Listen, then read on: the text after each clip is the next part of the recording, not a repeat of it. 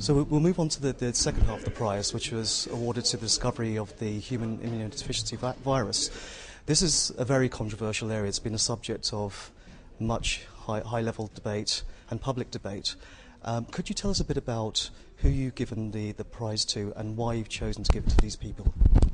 So there are two uh, researchers who has got the prize, Barré Sinoussi and Luc Montagnier. They collaborated at Institut Pasteur in Paris with the discovery and isolation of the first HIV types, HIV type 1, and that is the main uh, cause of acquired immunodeficiency. But we provide the prize for the discovery of the virus because that is the paradigm shift in this science. They provided this virus isolate to a number of other research groups. Diagnostic tools were generated by many other groups, and eventually, together, numbers of scientists could then definitely link the HIV to the formation of AIDS. So could you tell us more about the actual discovery itself and why you're choosing to reward this? You said it's a paradigm shift, but could you elaborate on that, please? They did several assumptions that turned out to be true. First of all, they decided to use lymph nodes as source of the cells that they cultured. Secondly, they decided to activate the cells in order to try to get virus production out of them. Thirdly, they consequently and every third day assessed for the potential presence of an enzyme that is specific for retrovirus, reverse transcriptase uh, en- enzyme. And they were able to demonstrate that lymphocytes of that type that is declining in those that are affected by the disease were the cells that actually were infected. So they not only isolated the virus, they also provided explanation for why the immune impairment occurred. What did their findings actually allow? So the findings allowed for cloning of the virus. That led to development of antiretroviral drugs. We currently have 30 different drugs that have revolutionized the care of these individuals. Infected individuals now get immune reconstitution and can go, back to a normal life and almost have a normal life expectancy. We can also prohibit mother to child transmission of this virus by these drugs. Diagnostic tools that have developed have also allowed us to restrict the pandemic by now screening blood products and infected individuals for potential infection.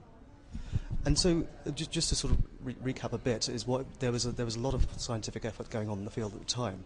Why why why why was this the particular discovery? It was a paradigm shift, but there was also the linking of the of the of the virus to AIDS.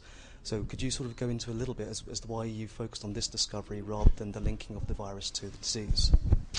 Because the discovery of the virus was really the most important thing. Without the discovery of the virus, you could never have done the exact identification of the cause of the disease. The cause of the disease was then the central paradigm shift.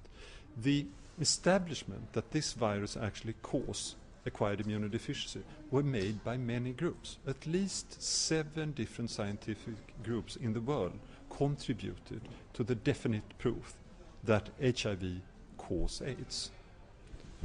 And so the, the discovery of the um, human immunodeficiency virus was made 25 years ago. Why has it taken up till now to award the prize for this subject? Is part of that down to the debate that was going on about um, who actually discovered the, the virus? To some extent, yes, because it, we don't only lean on the publications that has been done. We also have other sources that we have to dissect in order to be sure who really did the job. The French team actually consisted of 17 different individuals involved in the discovery. But the two persons that we finally got evidence for did the major part of the discovery was Barré Sinoussi and Luc Montagnier. And it took us a number of years to find out how it really was. And so, um, what, what roles the two researchers have in the discovery? Sorry. What, what, what roles do the two researchers have in the actual discovery? They made all the key observation. They set up the technology, they made the protocol, they made all the very important discovery one to each other. The specific enzymatic activity, the toxicity of the helper phenotype, the budding of lentivirus type of virus particles from the infected cells and the immunological properties of this novel lentivirus. That was all contribution from the two awarded persons.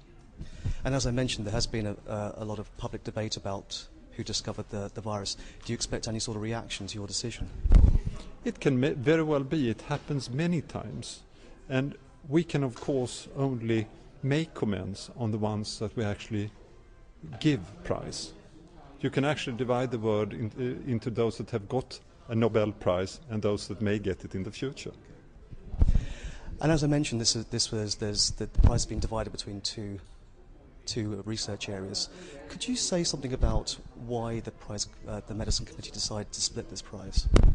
Because it actually was two completely independent prizes, and each of them could have been given out uh, individually at two consecutive years.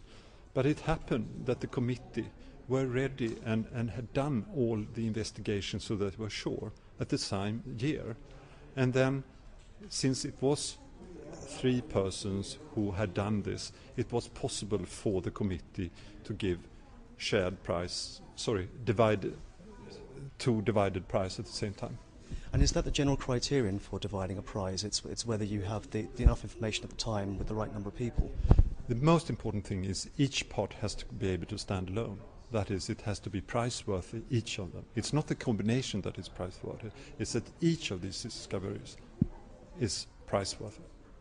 Thank you very much for that, Professor Anderson. Thank you. Want more information about this prize or interviews or summaries of the prize, please, please visit nobelprize.org.